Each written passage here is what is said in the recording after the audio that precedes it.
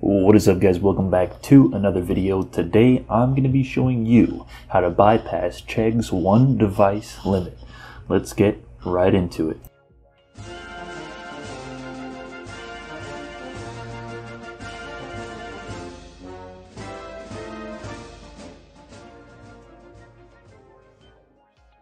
So first things first, it's important to remember that this is not a way to get Chegg answers for free. You must be paying for a subscription or you must have access to a paid subscription through a friend or somebody else.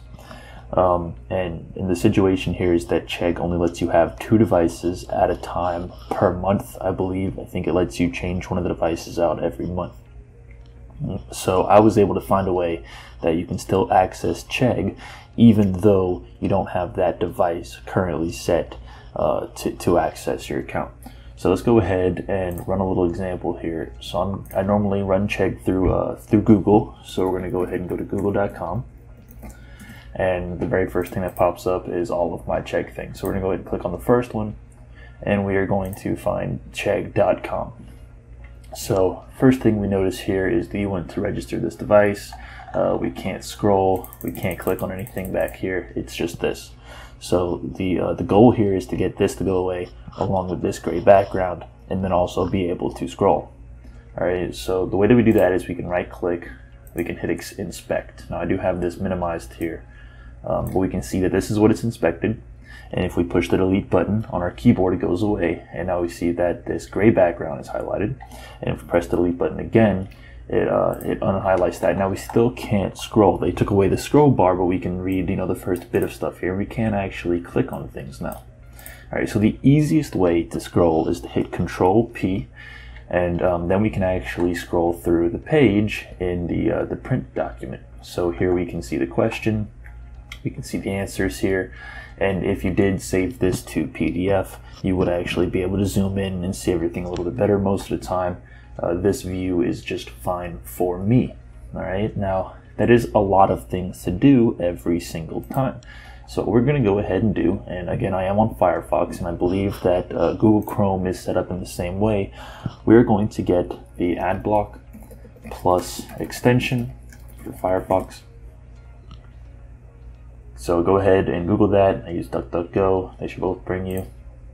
Um, and this is the link up here. I'll probably include this link in the description of this video, but if it's not there, again, it's just AdBlock Plus. And then you go ahead and add the extension. Now, I have the remove button because I do already have the extension installed. We can see it up here. Uh, AdBlock Plus.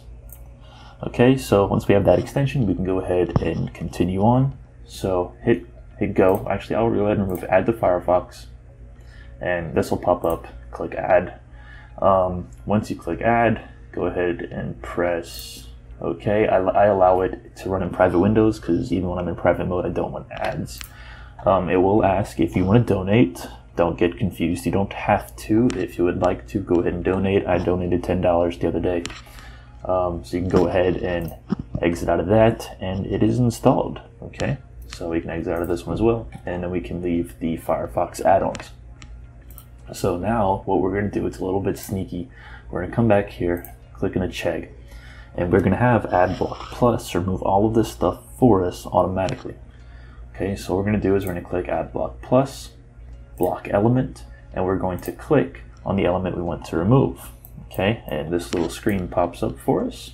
We go ahead and click preview, right? So we can see it out here with the changes and hit block. All right, so that goes away. Then we go back up here again, block element. We click on the gray background.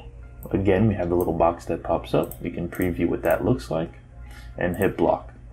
So again, now we still can't scroll, but it's all going to be a lot easier because all we're to have to do is open it and hit control P.